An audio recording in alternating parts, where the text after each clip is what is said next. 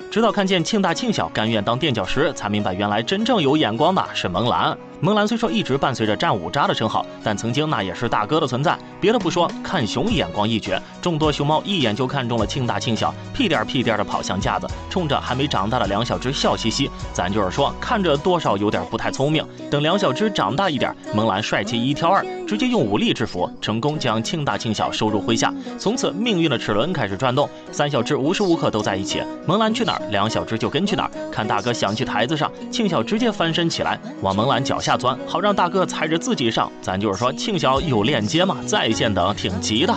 庆大也十分爱黏着蒙兰，吃饭玩耍都要跟上，就差整个熊挂在蒙兰身上了。作为大哥，蒙兰也不是什么都没干。庆小和金运为了争夺一棵树，直接扭打起来，显然庆小不是对手。金运直接一掌把庆小甩向地上，看庆小向树上爬，猛地一扑，直接将其拽了下来，还没挣扎又被推倒在地，不是被蹂躏就是被按在地上摩擦。庆小自闭躺在架子上，结果又被金傲给推了下去。庆小哭唧唧的找来外援，默默霸气出场，冲上去一顿输出，对着金运又咬。又打，干脆直接将其拖了下来。眼瞅大哥给自己出了气，庆小看着蒙兰狂闪星星眼，趁蒙兰趴在地上休息，直接上去就是一顿专业马杀鸡。别说这大哥当的真舒坦。经过蒙兰这一英勇事件，庆大庆小更是将蒙兰当成了老大。看蒙兰躺下，冲上去就是一顿贴贴。庆大大哥，快来嘴儿一个。